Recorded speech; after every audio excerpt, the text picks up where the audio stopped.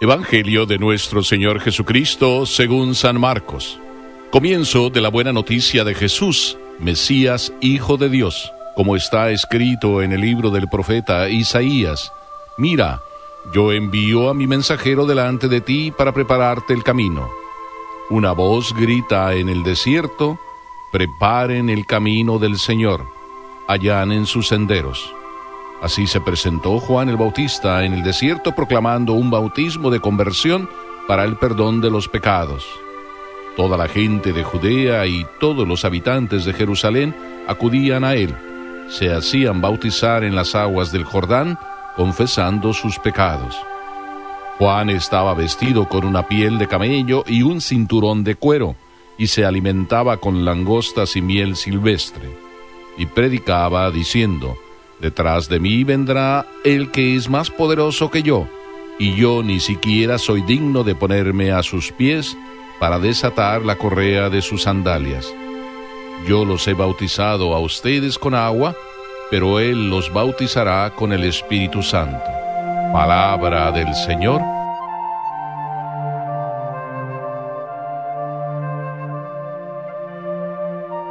Para Dios lo mejor. Aquí sí que vale esa frase.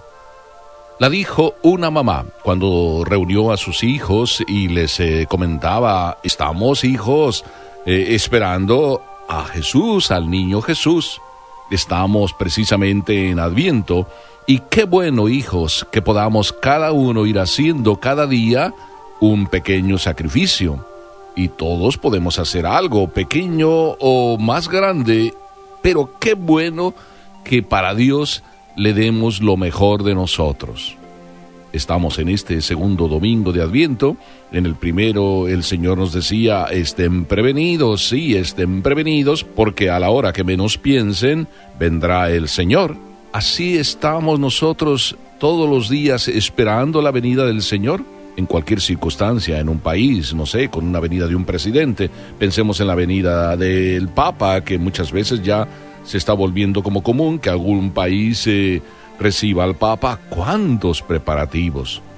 El país prepara, el gobierno prepara, luego en la diócesis concreta preparan, luego alguna parroquia donde va ahí con más detalle, se ve cómo cada uno de los miembros de la parroquia van preparando para darle al Papa lo mejor.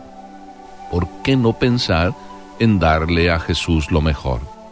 En el Evangelio de hoy se nos habla de precisamente la buena noticia. Dios viene a salvarnos.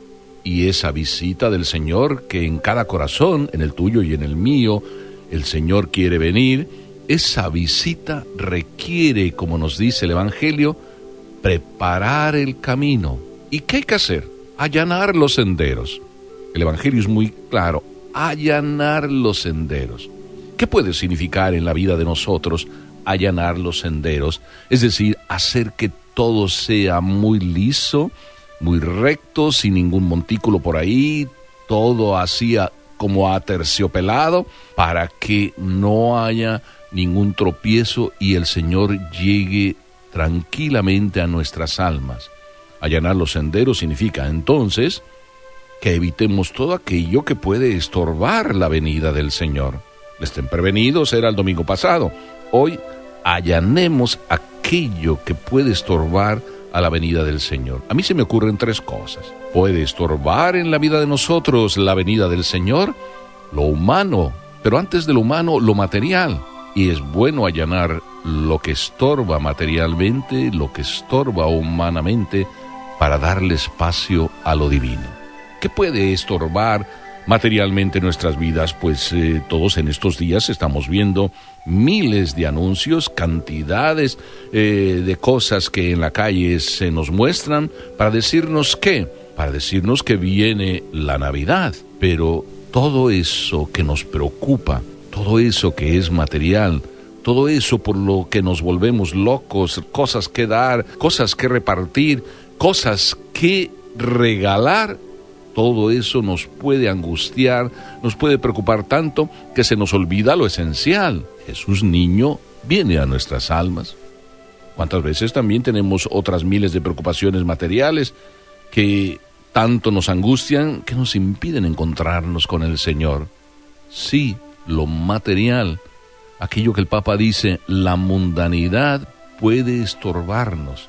Es un eh, estorbo preocuparnos tanto de lo mundano, porque ahí vamos como quedando dormidos, como que se nos olvida lo esencial de la vida, y lo esencial de la vida en esta Navidad no es el jo, el Santa Claus, es el niño Dios que viene a tu corazón cuánta importancia cuando un niño va a hacer su primera comunión hay en el corazón del niño. Quiere el niño por primera vez, sí, recibir a Jesús y se prepara de manera tan entusiasta, tan sencilla, que se le olvida el resto.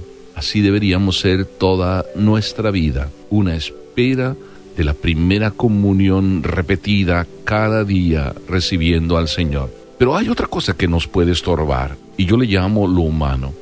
Muchas veces me encuentro con personas que dicen, Padre, yo vengo aquí a la iglesia, quiero orar y se me va mi corazón a mi casa, a mi papá, a mi mamá, se me va mi corazón allá a la suegra.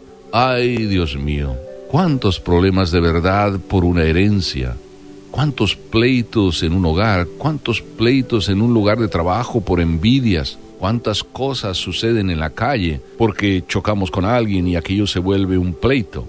Y todo ello al final termina en resentimientos, en odios, en rencores, en venganzas, en envidias. Todo eso nos priva para encontrarnos con el Señor. Y tenemos que allanar ese camino. ¿Cómo allanar ese camino? Todos los días puedes allanar ese camino cuando rezas el Padre nuestro de verdad, con todo tu corazón, con toda el alma, con toda la sinceridad.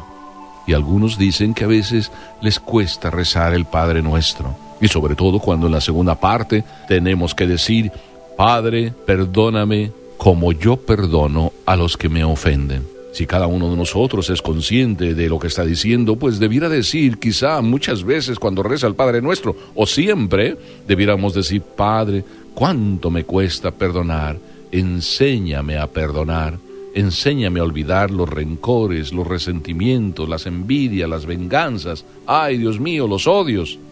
¿Para qué? Para allanarte el camino, para que tú puedas llegar.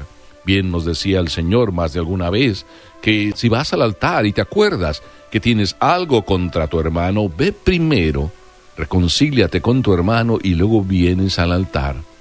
Porque es imposible dejarle a Dios entrar si en nuestro corazón conservamos lugares para el odio, para la envidia, para la rencilla, para los rencores. Qué bueno que allanemos en el corazón eso, lo humano, lo que nos turba en el corazón, para que entonces el Señor llegue pero suavemente, y no tenga que decir, no puedo entrar en tu alma.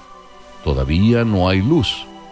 Por eso también nos ofrece el Señor, y así nos dice esta lectura del Evangelio, el bautismo de conversión, el bautismo del Espíritu Santo.